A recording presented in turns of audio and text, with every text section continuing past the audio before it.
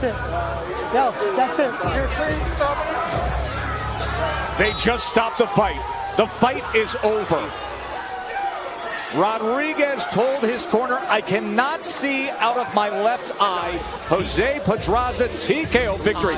Pedraza's work rate, all the power punches, stepping up in that eighth round after the consistent work previous to that did the damage, and Jose Pedraza with a good, solid win, TKO victory.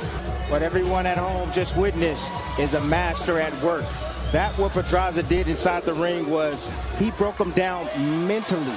Then he broke him down physically second. 29th win in the career of the two division champion. He's hoping for a shot at 140 pounds. That is a deep and loaded division with an undisputed champion.